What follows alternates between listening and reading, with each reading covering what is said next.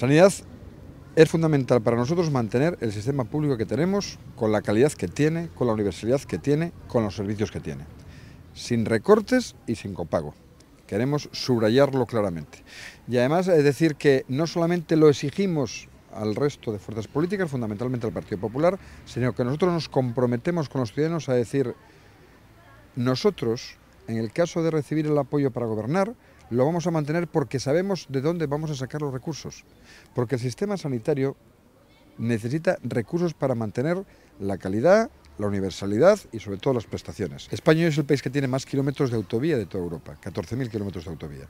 Bueno, necesitamos que, para ser efectivos, llegar a las zonas que tradicionalmente tuvieron problemas seculares de comunicación.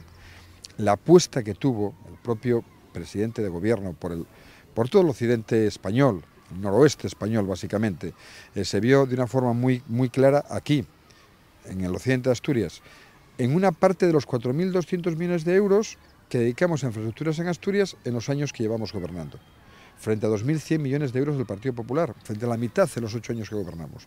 Quiero subrayar esto específicamente porque es dinero gastado, no es dinero que programamos, que licitamos, no, no, es dinero que nos gastamos dinero gastado es exactamente el doble que el que se gastó en infraestructuras asturianas del Partido Popular y esto se ve especialmente aquí en el occidente con el avance de la autovía.